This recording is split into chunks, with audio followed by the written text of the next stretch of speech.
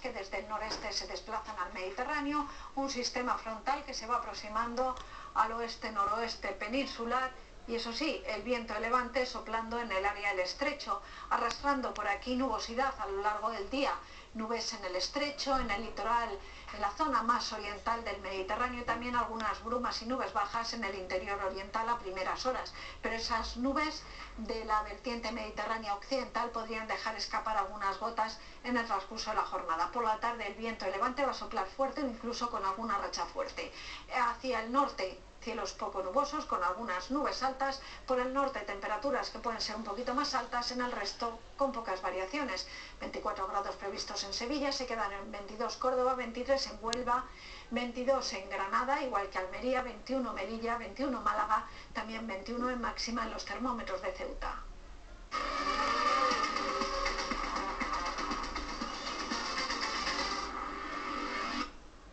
Para la información deportiva con Enrique Olivares. ¿Qué tal, Enrique? ¿Qué tal, Ramón? Bueno, un día más seguimos pendientes del Granada, ¿no? Sí, porque está muy enfadado, todavía se sigue hablando y está coleando el tema COVID y la no suspensión del encuentro ante la Real Sociedad.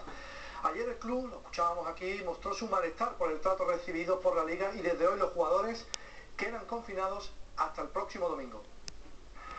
El parón por las elecciones llega en el mejor momento para recuperar los casos de COVID, porque hasta el domingo, cumpliendo con los 10 días de cuarentena, los jugadores del Granada que estuvieron en Chipre no pueden abandonar sus domicilios.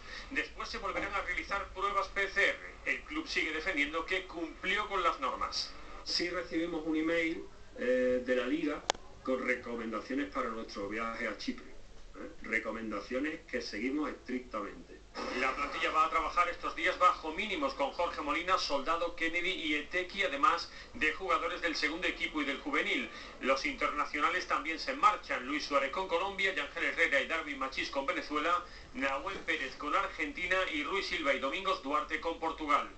Aprovechando el tirón, en segunda B, el Córdoba ha denunciado al Recreativo Granada por falta de cumplimiento en materia de COVID tras el partido que los granadinos acabaron empatando a uno en el descuento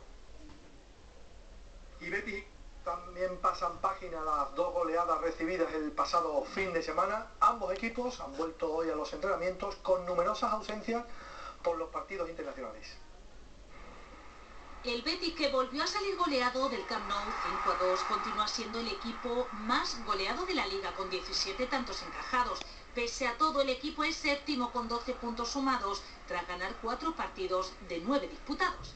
La plantilla ha vuelto hoy al trabajo sin los nueve jugadores internacionales que no llegarán hasta la próxima semana.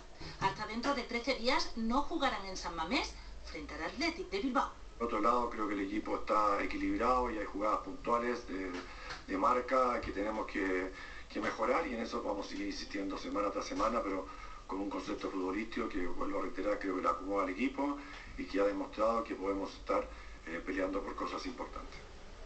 El Cádiz también quiere hacer borrón y cuenta nueva tras la debacle en el Metropolitano donde encajó la mayor goleada desde que llegara Álvaro Cervera hace ya cuatro temporadas. La lectura positiva es que el equipo es sexto clasificado con 14 puntos a 8 del descenso. El próximo rival será la Real Sociedad en el Carranza, frente a un líder que a domicilio arrolla con goleadas a sus rivales. Y en el Sevilla, pues siete jugadores internacionales que tampoco se han podido entrenar hoy y la novedad es que ha entrenado Ñañón. A ver si Lopetegui puede contar con él a partir de ahora. Toca éxodo ahora, estos días. Gracias, Enrique. Y hoy terminamos con la voz del artista Alba Molina, que ha estado aquí en esta casa para presentarnos su nuevo disco, El Beso, un trabajo que se ha desarrollado durante el confinamiento, lleno de ritmos andaluces, blues, soul y jazz, y donde canta con su madre y con su hija. Un trabajo en el que se ha rodeado, dice ella, de los mejores. Colaboran, además de su madre, Lole Montoya, Lynn Cortés, el compositor Dani Bonilla, Alejandro Sanz y Frank Cortés. Este tema se llama Dicen y con él les dejamos hasta las 4 menos 5, después del telediario. Dicen que en el corazón yo llevo los suspiros de una boca que dejó de darme besos, se convirtieron en roca que se posan con el peso del más puro y delicado.